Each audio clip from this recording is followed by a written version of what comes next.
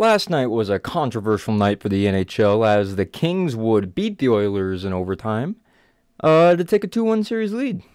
And uh, why was it controversial, you may ask? Well, Connor McDavid, the best player in the world, said by Jay Woodcroft, was two feet away and he saw a high stick. And what did the refs decide to do about this high stick?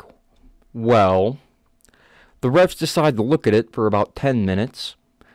Uh, and they decided there was no high stick, which I think is bogus. And why do I think it's bogus? You can clearly, I mean clear as day, the puck is going up. He puts his stick above the puck. The puck comes down.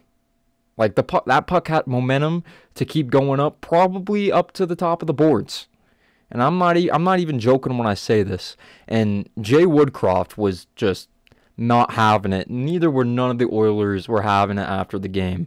I mean, they were like, well, the best player is three feet away, and you're not going to call it? I mean, obviously, Connor McDavid's not the ref, of course, but I mean, still, this is a clear high stick, and Derek Ryan's goal got called off for a high stick in overtime in like game one. Is is this some kind of joke? Is it just me, or is the refereeing in the NHL playoffs this year just been super unpredictable and super horrible at times. I mean, this cost them a game, and it could very well cost them a series and cost them one of the most historic seasons of all time. I hate to see this.